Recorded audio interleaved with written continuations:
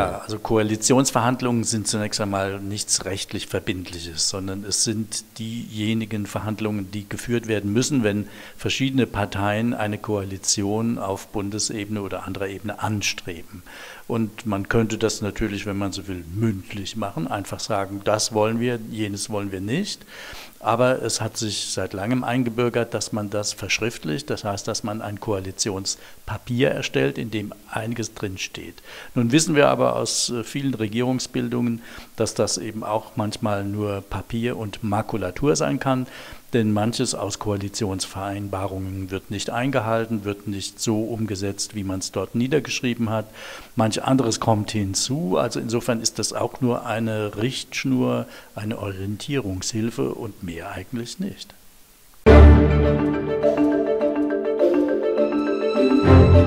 Naja, die Besonderheiten wären, dass man eben drei schwierige Partner hat, die sich nicht leicht tun, äh, da zusammenzufinden. Und dass wir eben einen Partner haben, der sich jetzt noch nachträglich, also es gab ja dieses Sondierungspapier, was übrigens auch ungewöhnlich ist, der sich aber nachträglich irgendwie profilieren muss, um seine Mitgliederbasis zu überzeugen, dass er der richtige Partner für die ähm, Koalition ist. Also ich rede von der SPD.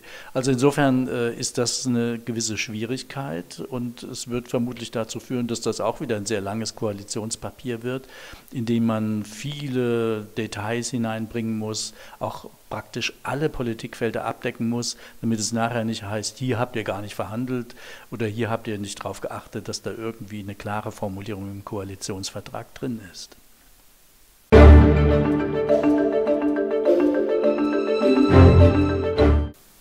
Ja, also Gespräche gab es natürlich schon immer. Wobei man sagen muss, ähm, es waren ja in der Bundesrepublik, jedenfalls auf nationaler Ebene, oft Regierungen, also in der ersten Phase, die bestanden aus einem großen und einem kleinen Partner. Ne? CDU in der Anfangsphase und der kleine Partner war die FDP.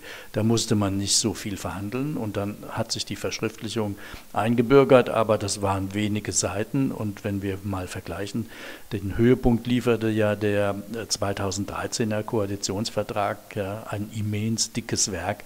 Das war also zum Beispiel in der Bundesrepublik des 20. Jahrhunderts überhaupt nie denkbar. Aber das lag eben auch daran, große Koalition. Große Koalition heißt zwei große Partner, die viel zu sagen haben, die viel zu vereinbaren haben. Und insofern wurde dieses Ding im Laufe der Jahre eigentlich immer dicker.